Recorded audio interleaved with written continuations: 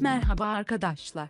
YouTube Her Telden Her Şeyden Biraz kanalına hoş geldiniz. Bazı evlere girdiğinizde sıra dışı türden bir koku duyarsınız. Duyduğunuz bu koku size rahatlık ve huzur verir. Oraya her gittiğinizde iyi hissedersiniz. Böyle hissetmemizi neyin sebep olduğunu bilmek istermişsiniz. Başlarken videoyu beğenmeyi ve kanalımıza abone olmayı unutmayınız. Sizi merakta bırakmayalım. Huzurlu hissettiren kokunun kaynağı defne yapraklarıdır. Defne yaprakları insanların ruh halini iyi yönde değiştirdiği bilimsel olarak kanıtlanmıştır. Bu videomuzda defne yaprağının bilinmeyen özelliklerinden bahsedeceğim. Defne yaprağı eski çağlardan beridir tıbbi amaçlarla kullanılıyordu. Defne yaprakları sadece yemeklerle tat vermiyor aynı zamanda insanları iyileştiriyordu.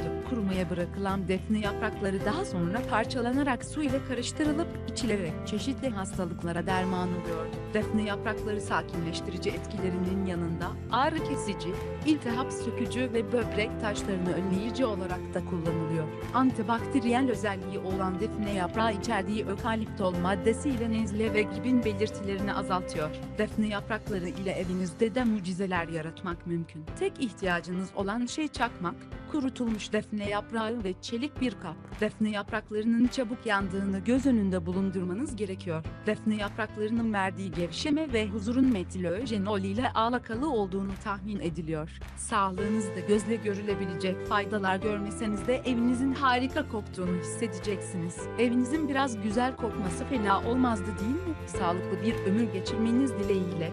Videoyu faydalı bulduysanız beğenip paylaşırsanız bizi mutlu etmiş olacaksınız.